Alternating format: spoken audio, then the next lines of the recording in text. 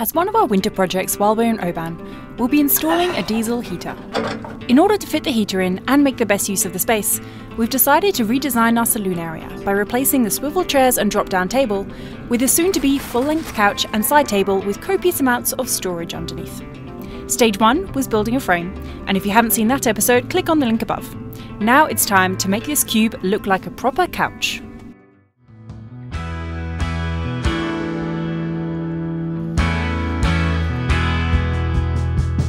So we found the sunniest section of the whole marina to do some outdoor work. Uh, it's like really cold and icy today. Uh, so what we've done is uh, we've made up some stencils. we've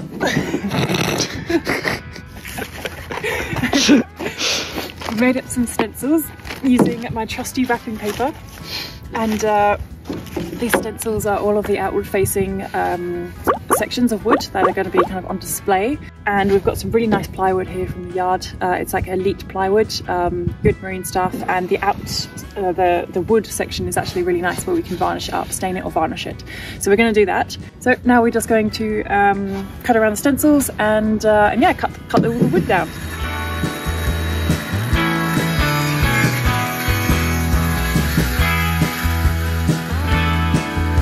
So I'm just using this piece of wood as a straight edge to run the saw along so we can sort of pre-designate the path of the blade and there's no like awkward, you know, freehand stuff. Just kind of straight along an edge, even if it's, well, no, you get it right before you cut and then you lock it in and it's just one straight movement. That's the goal anyway.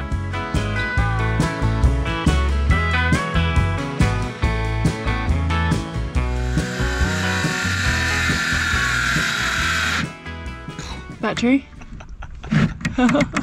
Oh, I hate this saw. Ah. Battery. Literally the last cut. Oh my god.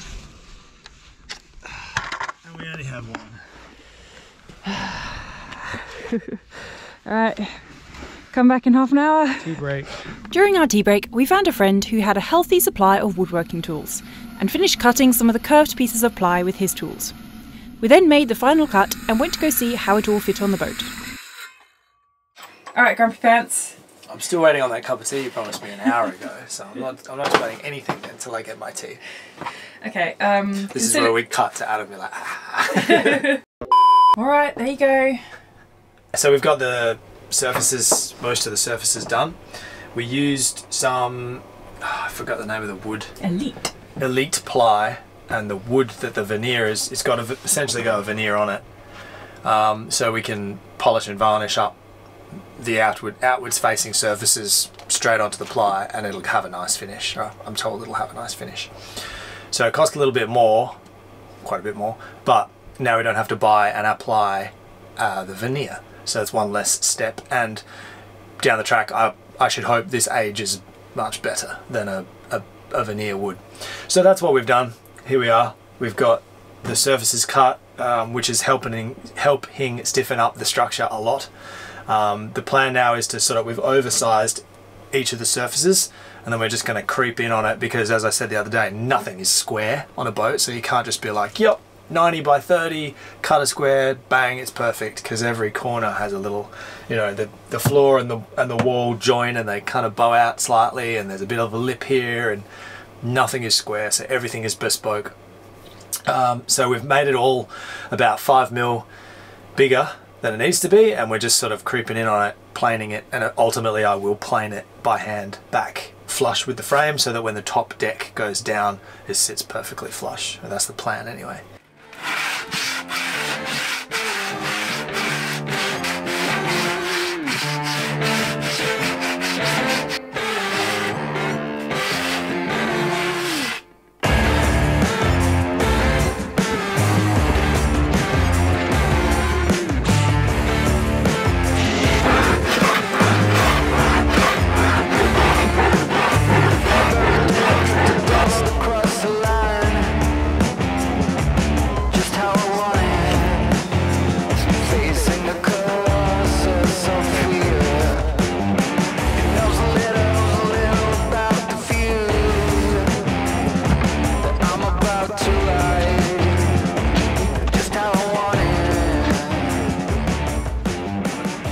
Front face is glued and screwed. As you can see, I've got it clamped on I'm using a bit of sort of waste wood uh, to protect it from the clamps. So far so good though. I'm just going to let this glue dry now and move on to other jobs.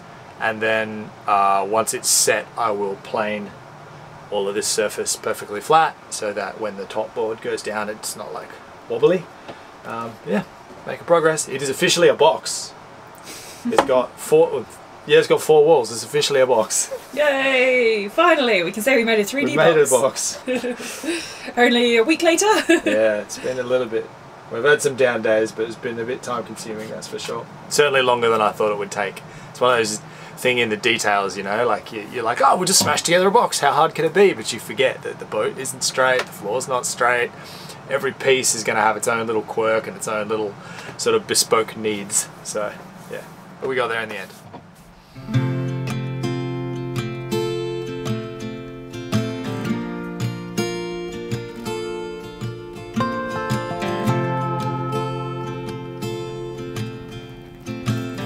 So I'm making pretty good progress at the moment. A lot of glue is drying, a lot of things are just clamped down, so I don't want to mess too much with that part of it. Um, so I figured I would move on to making the access door for this little bedside table sort of thing that we're making. Um, fortunately for me, the old door for what was there fits vertically, not horizontally. It slots in quite nicely, actually perfectly. To be honest with you, it's a total coincidence. We didn't measure it up that way, but it is almost centimeter perfect. To be honest, more better than that. It's millimeter perfect. So really, all I have to do, my plan is to essentially take a section out of the middle to shorten the door. I'll bang out all the slats because I'm not rejoining every one of these slats and I will take the nice timber that is here and build a section so that we can varnish it up. It'll basically it'll be the same as this with a frame around it and a handle and the same hinges and all of that um, here. So I think that's sort of the most efficient way to do it and also bring us a nice finish whilst reusing this quite nice wood because this isn't crap wood. This is uh, I don't know what it is, but it is hardwood. It's really nicely done. So I kind of want to preserve as much of it as I can. Um, so I've made a start on the other door. Essentially have cut out, knocked out the slat sections and I'm just preparing the surface to drop in a ply, uh, the, the ply that we have and then I'll put sort of some backing plates on it to make it whole. And then I'm preparing the corners here to sort of do that and then that'll be that. We'll, uh, I'll work on the details and the trimmings once it's all together and it fits the space. It's coming together reasonably quickly. Um, making good progress today. I'm sort of I'm in the I'm in the zone. I don't know whether you could uh, attribute it to this, but Kiara has been absent all day. And I have been allowed to just put my headphones in and get after it, and I've made leaps and bounds. I knew that was coming. I don't know if that's you know there's a correlation there, but One can wonder, and I can keep wondering. I'm going back to work tomorrow.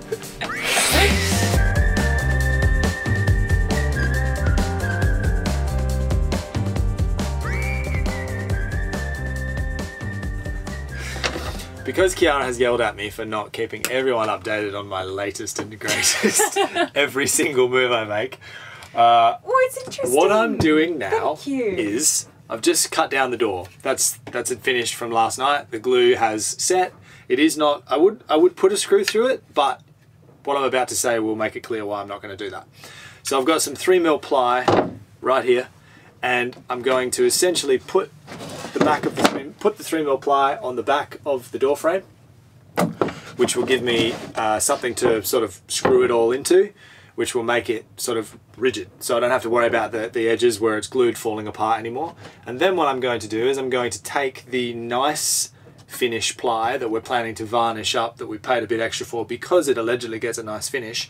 I'm going to cut out a section of that and drop it into here, which will give me, um, it'll be about about three mil shy of this sort of this face here. So when it's all done, you should have this frame with a nice uh, with a nice plywood inner um, that is about three mil shy of the uh, the trimming, if you will, the edge trimmings.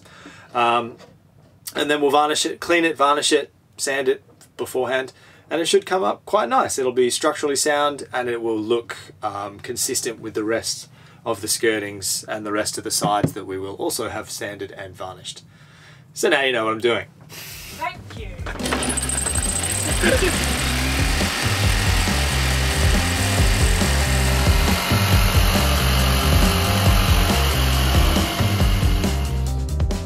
Looks pretty good. Yeah.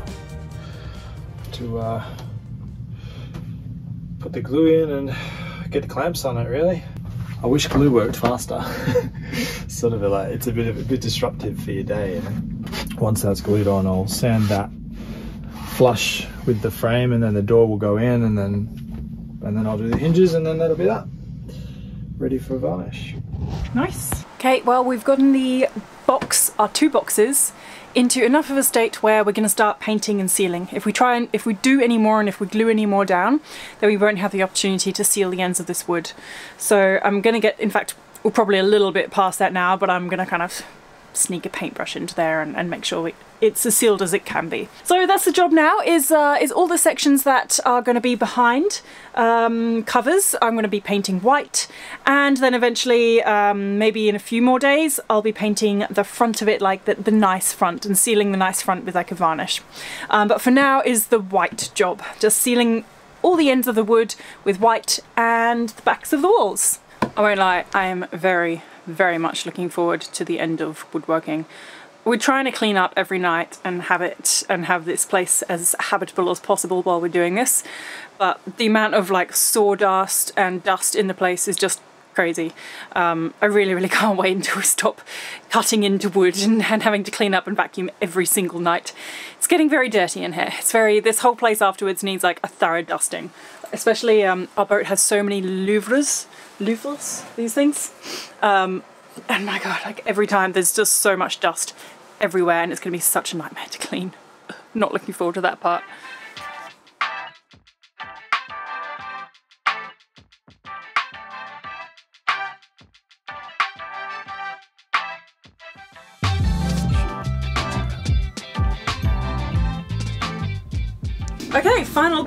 Uh, of the door. We just uh, stuck a bit of ply in here. As soon as it gets sanded and um, beautified a little more. But you can see it's turned out really, really well though. And we've sanded the edges so it fits perfectly in the door. Hinges are all on. That's the back. So there we go. I'm, I'm actually really, really pleased with this door. It looks really, really snazzy. I'm very happy with it. The top is officially glued down. There's no going back. Uh, this this is where the heater's going to sit, and it's going to sit in the profile of this um, blue tape behind me. And then the plumbing will all go down in here and run along the bottom of the table, and the gravity-fed tank will be in this cupboard, which is kind of an awkward shaped cupboard, but it's perfect for all the plumbing for the heater.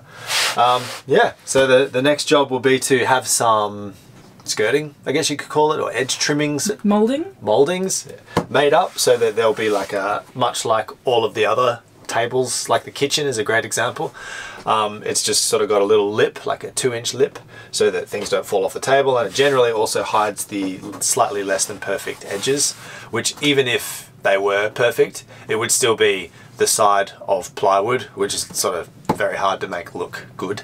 Um, so we're going to have like a trimming here and here, which will sort of be the the, the feature piece of the whole the whole thing. In addition to like varnishing up these nice wooden surfaces and putting a nice satin finish on them, there'll be what I assume is going to be a gloss varnish on the trimmings, and it yeah it'll look really nice. I'm quite quite excited to see it when it's finished. So today's job is to put the these walls on these sort of backing plates and to cut a hatch into each of them so that we have storage behind there and under here, which was obviously the plan. Um, I think that'll take me the rest of the day, so that's that's all I'll give you for now. Oh, it's full. It's done. Maybe we cut that slightly too small, No, I don't remember that. but technically, have a sit on. The first sit on the throne. First sit on the chair, yeah, on the seat. Right, so there'll be a backrest here. So the sitting height will be a few. Where's a cushion? That'll give me a guide. there, that is sitting height. Lovely. And Very good. And then that's the back Now back we just need to do the painted wall in the background and get that sorted. I think that's plenty sturdy. I don't feel dodgy about that. I probably will pile cushions here. Whoops, my bad. You're enjoying this, aren't you? That's plenty. Geez, you can almost, you could just start sitting here now. Like at the end of the day, we'll just put the put the deck back on. I intend to. and so the intention is to do away with that chair, and we're going to build essentially an ottoman that clips clips onto this face and makes an extension, and then clips onto the wall under the chart table, so that when you're underway, you've kind of got yourself another. I think we had had a two meters or 180 of length for the foam. So it'll go all the way down there. So you will actually be able to sleep here. And then when you want to use the chart table, you just sort of unclip that, unclip that, and you can rotate it or pull it back or push it forward. Because as we said before, these chairs look great, but in practice, they're just, they don't work. Like you can sit in it and you swivel, but as a desk, spending any meaningful amount of time at it, you can't get close enough to the desk and you get, this lip gives you sort of sore arms. So the, like these things just make it sort of points for trying, but it doesn't work. Um, and you're giving up so much in order to have them. So we're thinking that with the Ottoman, one, you get the storage inside. Two, you can pull it into the table. Three, you now have a second sleeping berth, a transient berth that can have a lee cloth and all that. Um, and four, if you ever do have a big dinner table, di dinner party or whatever, we now have a portable seat that can shift over so like the chef can sit there and now you've got two, four, five, maybe even six at that table as opposed to like two awkwardly seated people here who can't quite get to their dinner. It, yeah, just it's gonna, it'll be different, but I think it'll function a lot better. I like it already with the um with our fabric on. What's that with this? Yeah, it'll look nice with this. Actually, I haven't seen. Yeah, you're right. Yeah, this is really nice. Actually, yeah, it's pretty comfy.